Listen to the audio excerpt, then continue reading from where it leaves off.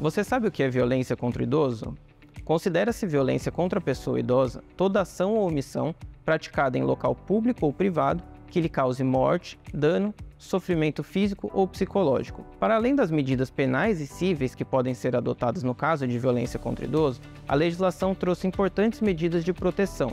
Essas medidas são aplicáveis sempre que os direitos reconhecidos no Estatuto do Idoso forem ameaçados ou violados e podem ser aplicadas de forma isolada ou de forma cumulativa.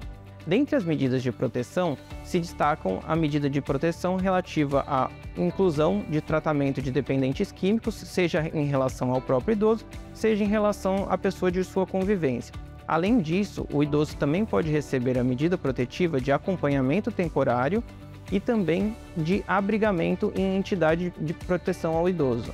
Diversos órgãos podem ser acionados para a defesa dos direitos dos idosos vítimas de violência, como a própria Defensoria Pública, que conta com núcleo especializado, a autoridade policial, o Ministério Público, o Conselho Estadual do Idoso ou mesmo Disque 100, que é um canal de denúncias anônimas de violações de direitos humanos. Para saber mais, busque a Defensoria Pública mais próxima de sua residência.